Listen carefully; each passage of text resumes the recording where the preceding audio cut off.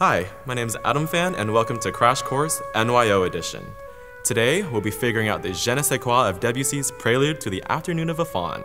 Some fun facts about this piece is that it was considered to be the most influential piece of music during its time. It even inspired choreographer Vaslav Nijinsky to premiere a ballet inspired by Debussy's music.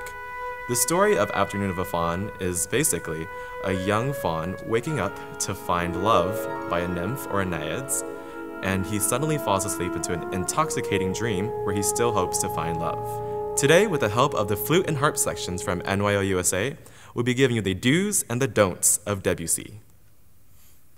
Do stay awake in rehearsal.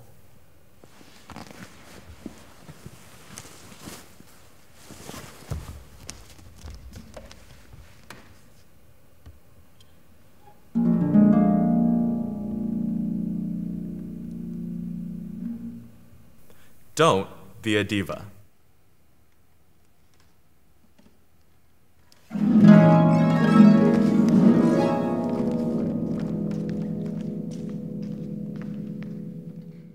Do communicate.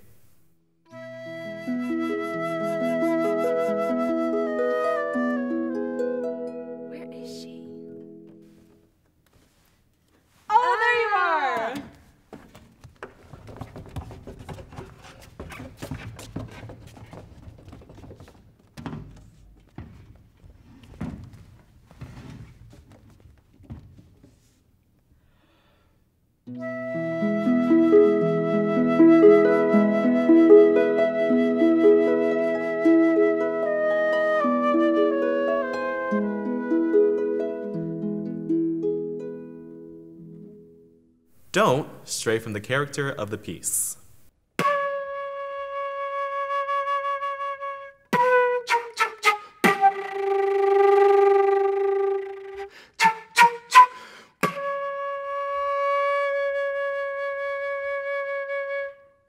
Do breathe.